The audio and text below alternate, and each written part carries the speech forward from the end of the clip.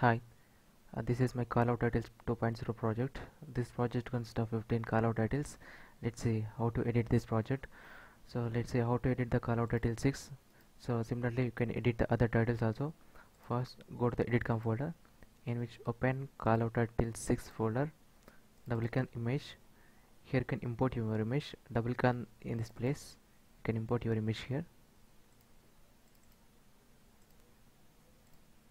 And drag and drop the image into the timeline. And here adjust the image here.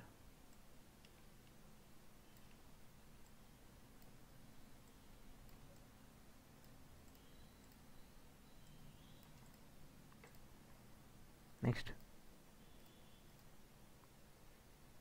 Have text folder double click on the text folder one. Double click on the text here. And edit your text here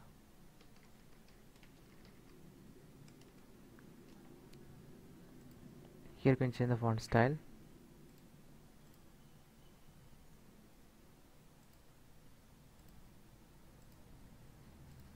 And you can change the text size. And adjust the text to the middle.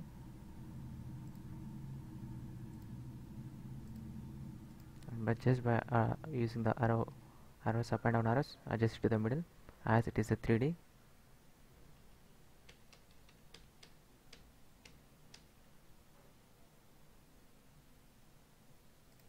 and double click on the text 2 double click on the text here. And edit your text here. Again here you can change the font style. You can change the text size.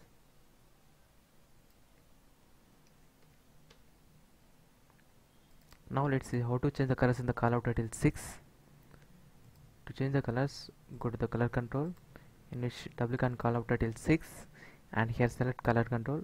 Here select effect controls here you can change the colors in the project. Pointer color. Pointer size. Next pointer line color. Connecting line color. Next connecting line width. Next text order one color text folder 1 bg color text folder 2 color text folder square color. Next image background color image background and line and uh, this text position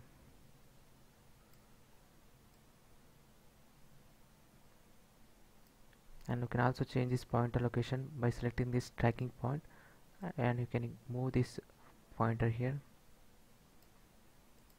And to render the callout title 6 go to the main comp in main comp folder double click on the main comp in which select callout title 6 and press ctrl plus m and render here. So in the similar way you can also edit the other callout titles also. Thank you